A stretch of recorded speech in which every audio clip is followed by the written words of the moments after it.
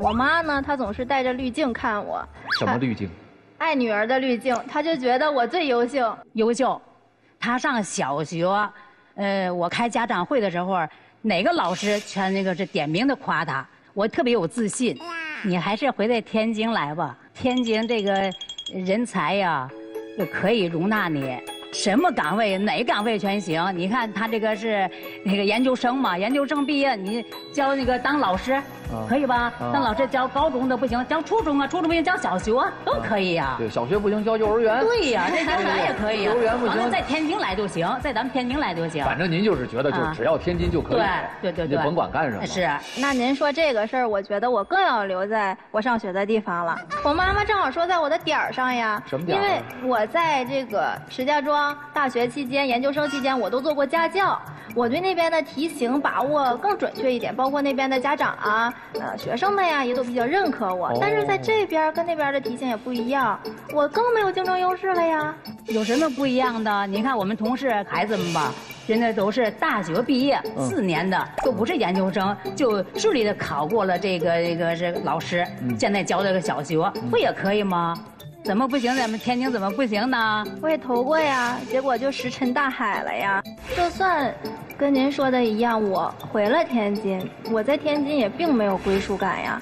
因为咱们家就是以前不就是住在保底吗？我从小到大，我熟悉的地方，我的朋友们都在保底呀。我在这儿，我哪儿也不认识，我只有在家里，太孤独了。你没有归属感，妈妈。你爸爸、你哥哥、嫂子都是你的归属感。那您跟我爸爸都这么大了，我还要麻烦您吗？妈妈可不怕麻烦，不怕麻烦，闺女。但是我妈不怕麻烦，只要回在妈身边。但是我的心里也过意不去啊！您有您的社交圈，我也有我的社交圈呀。儿行千里母担忧，每个母亲都愿意自己的孩子留在自己的身边。对，您说是吧？是。我要我都希望，对我要希望他。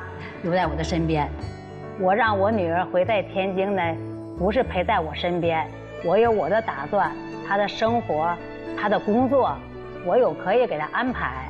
离家七年了，这七年回家多吗？嗯，只是在寒暑假吧。要咋乐意她回来呢？我们照那全家福啥的吧，她也不，她也不在身边。啊，照全家福也不回来？那是啊。对，因为我在学校。每次我看他的时候。他爸我们看他时候，我都晕车，也得吃晕车药。你说你不回来，有个大事小情的，打电话都打不到。比如说吧，就上一次我做那手术，胆结石手术。你说吧，我一个电话，我儿媳妇就过来了。要是他在我身边呢，他都能可以抱抱我，安慰我，我有个依靠。只有他嫂子抱个孩子，扶着我。小棉袄，那那钱是晒哪去了？哎，我很激动，控制不了自己的情绪。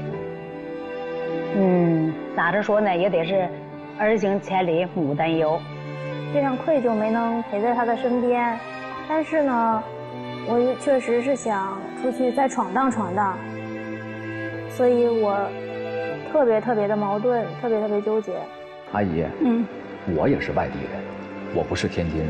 对，你外地人都落在咱们天津了。我，我本来啊是想救你的，结果没想到阿姨一个反手给我扣地上了哈。阿姨，您这反应的太快了哈。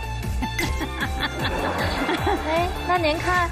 您那您看，人家也落在人家上学的地方了呀。我想说呢，年轻人有一颗爱闯的心，挺好的。首先，咱得肯定这不是坏事嗯，对吧？是。但是他在那边能不能发展的好？听到这儿，我没听出来。嗯。